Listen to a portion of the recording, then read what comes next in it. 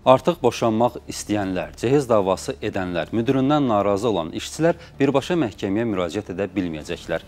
Çünki ailə, əmək və kommersiya mübahisələri ilə bağlı mediasiyaya müraciət məcbur edir. Mediasiya mübahisələrin məhkəmədən kənar həll yollarından biridir. Burada nəticə qanunla deyil, tərəflərin öz aralarında mediatorun iştirakı ilə razılaşdıqları formada əldə edilir. Bu səbəbdən də mediasiya sessiyasının sonunda udan və ya uduzan yoxdur. Məhkəmədən fərqli olaraq burada barışıq saziş imzalanan zaman hər iki tərəf qalib hesab olunur. Belə demək olarsa, mübahisənizi qanundan kənar yolla həll etmək istəyirsinizsə, mediasiyaya müraciət edə bilərsiniz.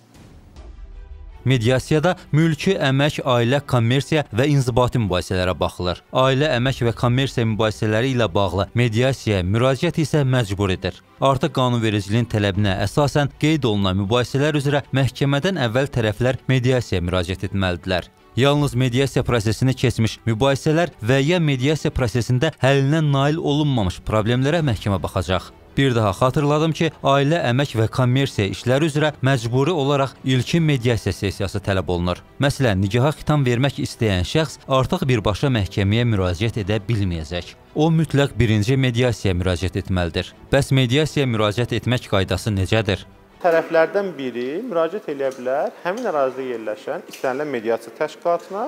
Əgər həmin ərazidə mediasiya təşkilatı yoxdursa, onda birbaşa müraciət eləyə bilər mediasiya şurasına və mediasiya təşkilatı və ya mediasiya şurası həmin işə baxmaq üçün mediator təyin edir. Və həmin mediator mediasiya üçün vaxt təyin edir, hər iki tərəfə bildiriş göndərir. Tərəflərdən tutaq ki, iddiaçı gəlməsə, ona arayış təqdim olunmayacaq. O məhkəmədə iddiasını məhkəmə iddiasını təqdim eləyə bilməyəcək.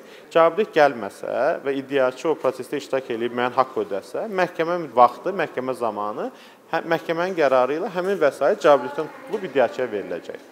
İlkin mediasiya prosesi üçün xidmət haqqı qanunvericiliklə müəyyən edilib. Əksər müraciətlər üzrə 50 manatdır. Kommersiya mübahisələrində isə iddia tələbindən asılı olaraq 20 manatdan 400 manata qədər dəyişir. Əgər tərəflər tam mediasiya prosesinə keçmələri barədə qərar versələr, bu zaman xidmət haqqı mediasiya təşkilatı və ya mediator ilə razılaşdırılır.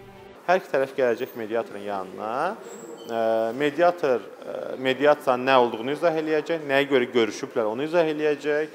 Ondan sonra tərəflərə söz verəcək ki, mübahisə nədən yaranıb. Tərəflər deyirlər ki, xahiş edirik, biz istəmirik mediasiyada iştirak eləmək, bizə arayışımızı verin, biz gedək məhkəməyə. Yəni ilkin mediasiya sessiyası ümumi götürəndə, ə, yəni mediasiya barədə məlumatın verilməsi və mediasiyanın sanki sınaqdan keçirilməsi. Kiçik şəkildə sınaqdan keçirilməsi mərhələsidir ki, ondan sonra tərəflər qərar verirlər ki, mediasiya istəyirlər, yoxsa yox. İstəsələr müqavilə bağlayıb tam mediasiyaya keçirlər, istəməsələr arayışlarını alıb müraciət edirlər məhkəməyə. Məhkəmə prosesində yaxın qohum və vəkillərin iştirakından başqa nümayəndəlik qadağan olunsa da, mediasiya prosesində bu belə deyil. İstənilən şəxs müraciət edən şəxsi təmsil edə bilər. Müraciət olunandan bir ay ərzində mediasiya prosesi baş tutmalıdır. Ümumilikdə 2 aya qədər bu proses uzadıla bilər. Mediasiyanın yekununda ya barışıq sazişi imzalanır, ya da ki, mediasiyaya xitam verilməsi barədə protokol tərtib olunur. Protokolu alandan sonra tərəflər aralarındakı mübahisə ilə bağlı məhkəməyə müraciət edə bilərlər. Əgər əldə olunan sazişə tərəflərdən biri əməl etməsə, o zaman digəri müraciət edir məhkəməyə. Məhkəmə də barışıq sazişinin qanuna uyğunluğunu yoxlayaraq təsdiqləyir və bundan sonra barışıq sazişi əsasında qərar qəbul edir. Belə deyək ki, barışıq sazişi qətnamə formasına salınır və bundan sonra onun icrası məcburi qaydada həyata keçirilir. Məhkəmə barışdıra bilmədi. Mediasiya tərəfləri necə razılığa gətirəcək kimi suallar da az səslənmir. Biz də bu sualı Mediasiya Şurasının üzvü Ruslan Mirzəyevə ünvanladıq. Məhkəməyə siz müraciət edəndə hakim sübutlara əsasən, qanunvericiliyə əsasən qərar çıxarır. Ola bilər kimsə haqlıdır, amma sübutla bunu təsdiq eləyə bilmir. Ola bilər kimsə haqlıdır bizim düşüncəmizlə, mənəvi cəhətdən. Amma qanunvericilikdə onun hüquqi əsası yoxdur. Amma və əlavə olaraq da o işlə bağlı qərarı hakim, üçüncü şəxs verir. Amma mediasiyada üçüncü şəxs yoxdur. Tərəflər üçüncü şəxs var, amma neytral şəxsdir. Üçüncü qərar verən şəxs yoxdur. Tərəflər özləri istədiyi nəticəni əldə edirlər. Əgər elə bir nəticə olmasa, heç bir nəticə olmur. Yəni mediasiyada tərəfləri qane etməyən bir nəticənin olmaq ehtimalı yoxdur. Çünki elə bir nəticə olsa, onsuz razılığa gəlməyəcəklər.